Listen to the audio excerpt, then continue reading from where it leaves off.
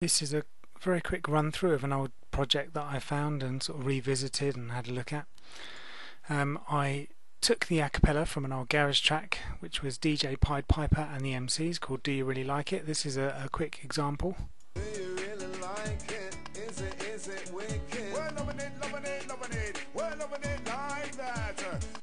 And so what I've then done is I've taken the acapella and given it a slight retune using uh, pitch and warp VariAudio quantizing the pitch straightening the pitch and then moving the notes round to create a new melody line. So let's isolate that. They really like it. They really like it. They really like it. They really like it it's also been slowed down as well. I think it was around 130 odd BPM before. It's now been slowed down to 110 so from there I then whacked a few chords behind. Really like really like really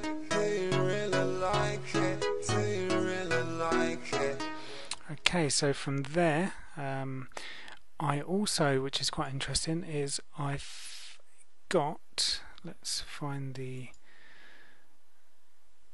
will it be on a group perhaps?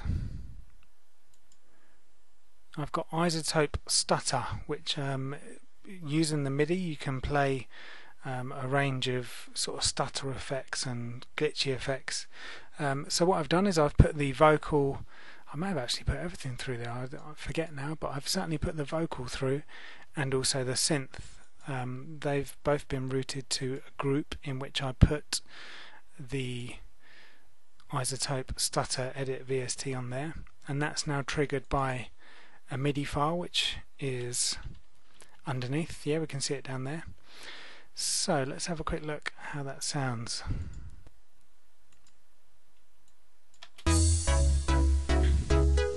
So this is as you've heard it before. The the chords, there's a little bass line underneath to give the low end some weight. Got a little sweep there. And the drums will come in now. these drums should really be EQ'd properly and let's have a laugh. Yeah, there's no, well, this EQ, what was going on there.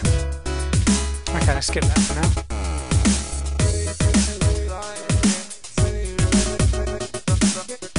So that choppy sound is coming from the stutter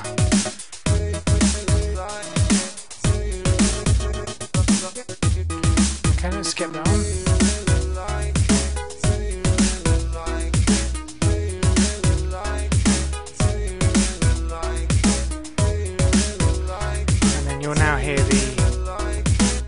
the stutter effects coming back in which is randomly programmed in MIDI.